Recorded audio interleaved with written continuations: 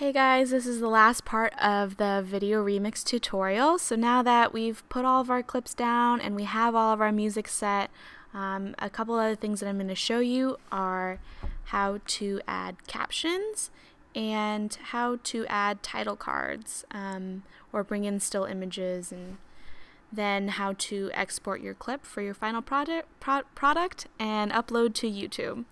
So let's start with captions. So we have the interview clips of Putin right here and we want to add some captions to it. So what you first want to do is see how long your clip is. So we start at about 55 and end at 58. So it's about three seconds. So to add a caption, you want to first go to File, New, Caption, and it's going to give you your video settings. So it's going to set it to whatever your sequence is. So click OK. Um, this is standard, so just click OK. And then over here, you're going to see your captions panel. If you don't see it, go ahead and click on this little icon and you can select your captions uh, panel. And we're going to go ahead and type something up here.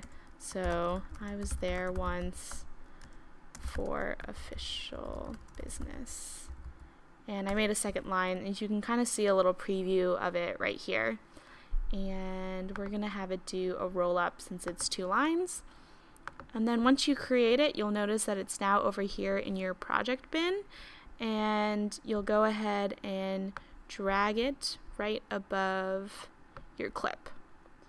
Um, and you'll notice that it goes a little over, so we can always click on the caption and change how long it is. So if I click on the out and drag to the left, I can adjust the timing. So now, see where the gray bar is? That's where the caption's going to end. This might bring it in a little more.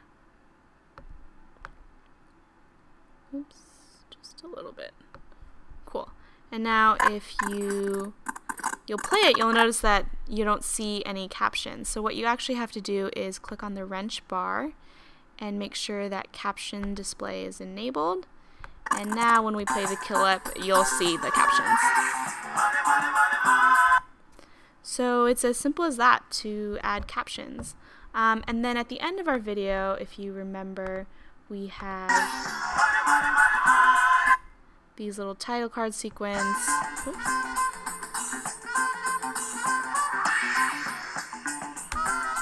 So I'm going to show you how to add that. So we have our logos here. We have the British Virgin Islands logo and we have the bank logo. So I'm going to bring those in onto track 2. So right over here, I'm going to make it about half of this time. And if we hover over here, you'll notice that it's out of frame. So we actually need to make the logo smaller. So remember you double click and resize down. And we, we notice that you're going to see a black background, but I actually want a white background. So I'm going to show you how to fix that after we place in the bank logo. So let's put this one right up against here, bring it all the way to the end of our song, go over here and adjust the size of this one. Now if you want to add a solid white background, all you have to do is create a color matte. So if you go File, New, Color Matte, it'll set to your video settings, click OK.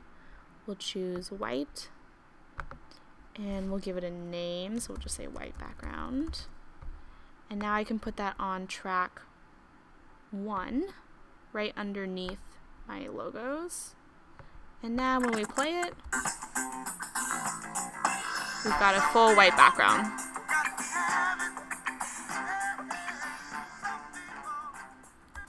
And we can add some cross dissolves so that they transition better.